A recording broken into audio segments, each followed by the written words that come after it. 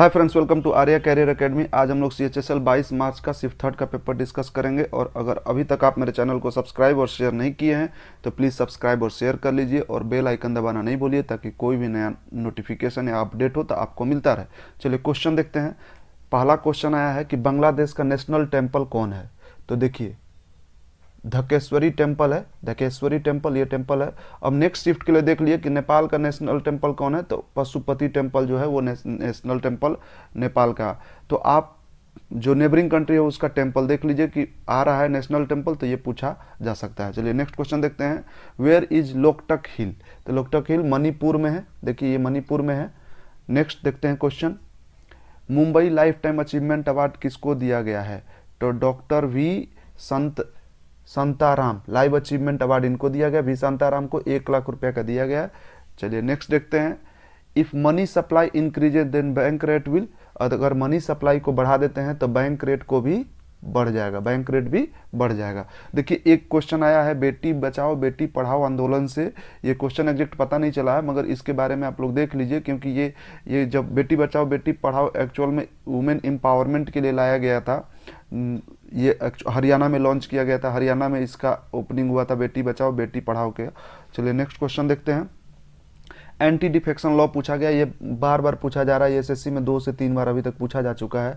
तो anti defection law जो होता है वो 52 अमेंडमेंट 1985 का होता है और 10 शेड्यूल्स में है एंटी डिफेक्शन लॉ तो एंटी डिफेक्शन लॉ से आधारित पीछे भी क्वेश्चन आ चुका है और इसका पूरा डिटेल हम पीछे के वीडियो में हमको लगता है दस या ग्यारह तारीख में बताए हुए हैं। तो ये रिपीटेड क्वेश्चन है, इसको देख लीजिए। चलिए नेक्स्ट देखते हैं। कार्बन फ्री कंट्री तो देखिए कार्बन फ्री कंट्री में भूटान का नंबर आता है, क्योंकि ये क्या है ना कि हिमालय के बीच में बसा हुआ है। इसीलिए ये कार्बन फ्री कंट्री माना जाता है। ये 2016 का न्यूज़ है। मतलब करेंट अफेयर 2016 के अनुसार ये भूटान आंसर होगा इसका। देखिए, शिक्षा साथ, साथी योजना, शिक्षा साथी योजना ये किस लिए, ये इंडस्ट्री को बढ़ोतरी करने के लिए किया गया था। तो देखिए ministry of power and textile have join hands साथी sustainable and the acceleration adoption of efficient textile technology to help small industry, ठीक है? तो ये जो छोटा छोटा इंडस्ट्री सब है, उसको हेल्प करने के लिए ये साथी योजना जो है, इसको लाया गया था, ठीक है? तो याद रखिए, साथी योजना का, साथी योजना जो है, ये 2017 में भी करंट का क्वेश्चन है।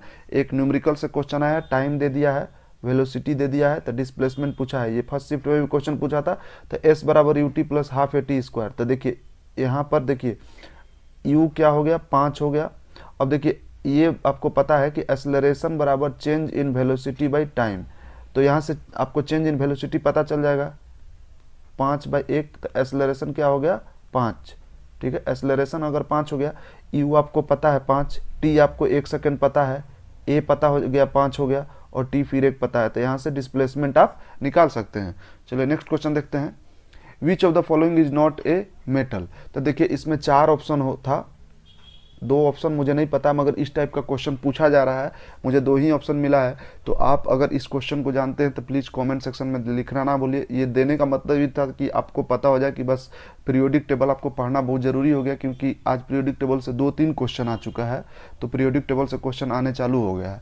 चलिए देखिए प्रेसिडेंट इलेक्टेड थ्रू तो प्रेसिडेंट जो इलेक्ट होते हैं, वो इलेक्ट्रल कॉलेज के द्वारा इलेक्ट होते हैं। इसमें 538 इलेक्ट्रोल होते हैं। जैसे देखिए, राज्यसभा के जितने मेंबर हैं, लोकसभा के जितने मेंबर हैं और नेशनल असेंबली के मतलब कि स्टेट लेजिस्लेटिव असेंबली के जितने मेंबर हैं, ये तीनों मिलकर इलेक्ट्रल कॉलेज के द्वारा चुनते हैं अपने प्रेसिडेंट को। वोटिंग होता है, उस इलेक्ट्रल कॉलेज के द्वारा, उसके द्वारा ये प्रेसिडेंट को सेलेक्ट किया जाता है।